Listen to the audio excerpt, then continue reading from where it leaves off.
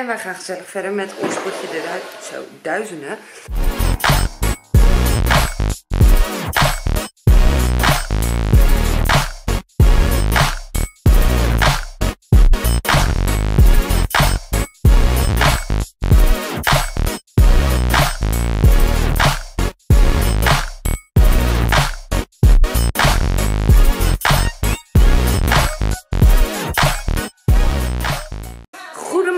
Het is zondag en we zijn lekker aan het opruimen, zoals gebruikelijk. En ooit komt er een einde aan. Eh, Marco gaat zo weg, dus uh, Sarah en ik het rijk alleen. En op de een of andere manier, als we met binnen zijn, ruimt het beter op. Dus let's do this. Hallo heb- kijkers! Hallo. Ik heb de bovenkant van de kast al veranderd, al staat het nog niet helemaal naar mijn zin. En ik ga nu jullie kasten, want ik heb daar hier de boeken staan. Wat je? Ja, die ik eh, zeg maar nog niet gelezen heb. En dat allemaal wel. Dat ga ik sowieso omdraaien en gelijk toch weer een beetje uitzoeken. Ik had bijvoorbeeld ook mijn oude jaarboeken erin liggen. Maar in de kastjes daaronder heb ik de fotoalbums en zo liggen. Dus die heb ik al daarbij gelegd. Die zag ik net staan. Dus eh, er moet gewoon meer ruimte in die kasten. En daar heb ik wel al mijn ideeën over. Dus daar ga ik zo een stukje van opruimen en ze dan anders indelen. Dus dan wordt het ook weer veel netter. opzij, Daar heb ik helemaal zin in. En dan kom ik daar. daarna bij die kastjes eronder. En dat gaat wel echt veel werk zijn. Want als ik het echt wil opruimen, moet ik dus eh, foto's gaan inplakken. En volgens mij ben ik met mijn fotoalbums, die ik echt wil hebben, gebleven. Dus je maakt het onmogelijk. Ehm, volgens mij bij mijn zwangerschap nog. Dus ja, dat Hallo is... lieve eh, babybuik. ja, Sarah vindt dat ik een baby in mijn buik heb, maar ik zal jullie vaststellen, dat is niet zo. Eh, nou, doe eens niet zo raar. Nee, dat vind ik niet zo leuk. Ga je even dat dingetje opruimen wat jij zou opruimen.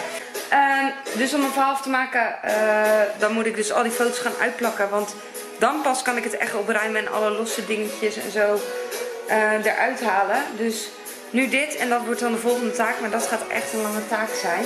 Wel heel leuk om alles weer terug te zien. Dan moet ik ook de foto's bestellen. Maar voor nu ga ik eerst dit doen en daarna maak ik me daarover druk. Nou, de kast is opgeruimd. Ik vind hem beter zo. Daar is nu wel rommel, maar dat staat iets meer naar de hoek, want het past gewoon niet. Ik heb meer boeken ehm, dan dat erin passen. Maar goed, dat moet ik allemaal nog lezen. Dus ik weet pas als ik het heb gelezen, als ik ze niet leuk vind, dan doe ik ze weg. En dit wil ik sowieso allemaal houden. Want dat zijn allemaal boeken die ik dus gelezen heb en echt heel leuk vond om te lezen. En wil, ik wil ook echt als we ooit een hele grote boekenkast. Liefst plafondhoog met een ladder erbij. En dan echt vier keer zo breed als dit.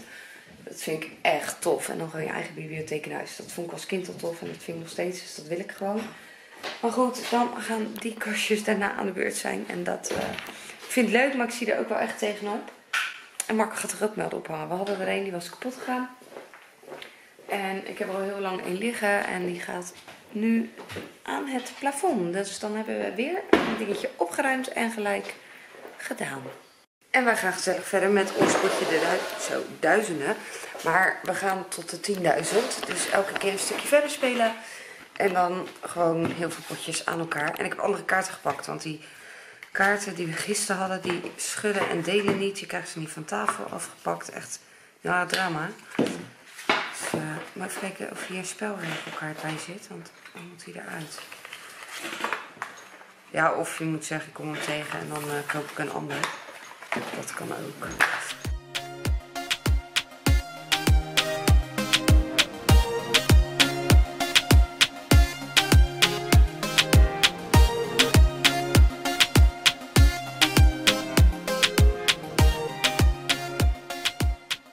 We zijn weer klaar met spelen en ik ga echt zo goed. We staan eh 17-20 voor Marco tegen 24-15 voor mij. Alleen het is dat ik weet dat het helemaal niks zegt. Want met dit spel kan je ook vet min ingaan. En ik heb het echt wel eens gehad. Dat, ik, dat we ook tot de 10.000 speelden. En dat ik echt op 9.990 stond. En toen gewoon drie keer achter elkaar in de min ging. En Marco uiteindelijk won. Terwijl hij 3000 punten volgens mij achter stond. En het zoveel punten haalde dat hij won. Maar goed, Marco gaat naar bed. En ik ga even editen denk ik. Ja. En nog wat muziek afluisteren. Want ik ben er echt bijna. Bijna. Ik ben zo trots op mezelf. Ik ga naar bed en het is voor twaalf en het is me gewoon weer gelukt. Dus bedankt voor het kijken. Reageer eh, kan op mijn Facebookpagina Mama Pakken.